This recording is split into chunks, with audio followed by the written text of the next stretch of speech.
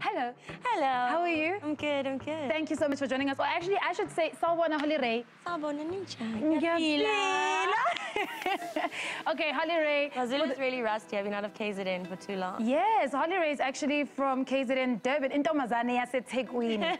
um, just in case people don't know who Holly Rey is, just give me a little snippet of Deeper, just so they can familiarize I'm themselves. falling deeper, deeper, deeper. Okay. Deep into your love. I was going to actually join in until I realized I actually can't sing.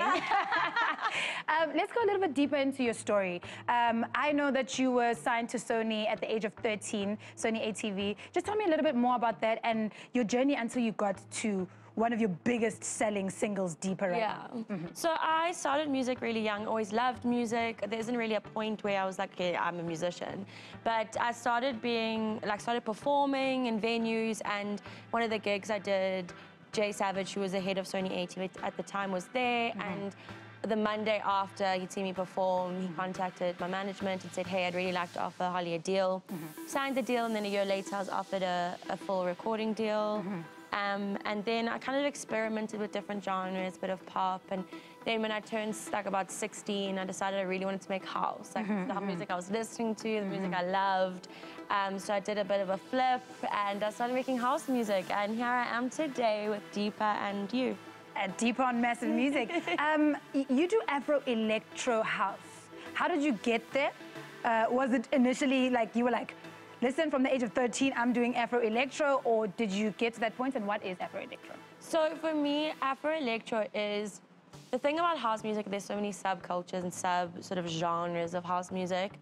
So I always say I do Afro house, but I like to incorporate electro elements into it. So that's where kind of the Afro electro house comes from. Um, and I, I definitely experimented for a long time before I found the sound I wanted to occupy and the space I wanted to be in as an artist. Um, and it was only until Deeper that I think I really realized that this is the space and this is the exact like kind of subgenre that I wanted to be in. I like that. I like that. Let's talk about Deeper. Numbers don't lie. You've hit 5 million views on YouTube. Congratulations to Thank you. you so much. How, how's, the, how's, the, how's the results of Deeper making you feel right now? It's just incredible. Um, I never expected it, so I think that it kind of hit me by surprise, and that just makes it even more beautiful.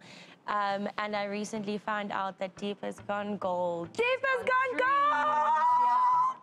I'm So excited. Deeper did 3.3 something million streams. That's so, beautiful. Yeah, I'm just, I'm really grateful. You know, I think that's the only way to explain it is I've just been shown so much love this year, Mm-hmm. appreciation, and and just being, seeing a so, the song that you make become the backtrack to people's lives has been really Absolutely. beautiful. I'd absolutely love to have you on longer. I mean, you're a girl from Durban, from KZN, doing big things. What can we expect from you real quickly? I have to finish this interview, but what can we expect from you going forward? Just more music. This year is just about music. It's about collaborations. It's about growth.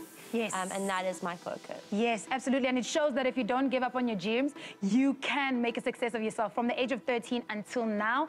More hits for you going forward.